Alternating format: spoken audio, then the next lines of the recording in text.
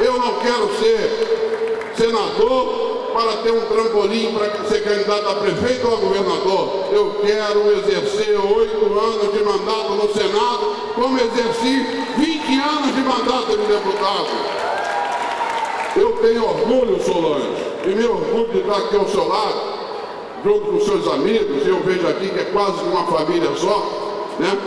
de ser político, de utilizar, como Paulo Melo disse, a política para fazer o bem, para transformar a vida das pessoas, para melhorar a vida de cada um, e é possível isso.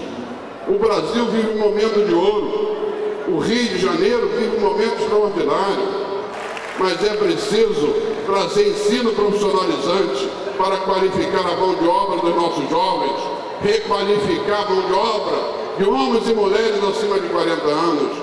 É preciso trazer uma extensão da Universidade do Estado do Rio de Janeiro, a UERJ, para Rio Bonito, porque as pessoas têm que ter o direito, mas não adianta falar aqui a minha história a sua, dizer que as oportunidades não são iguais, se nós agora não considerarmos responsabilidade nossa, fazermos com que haja oportunidades iguais.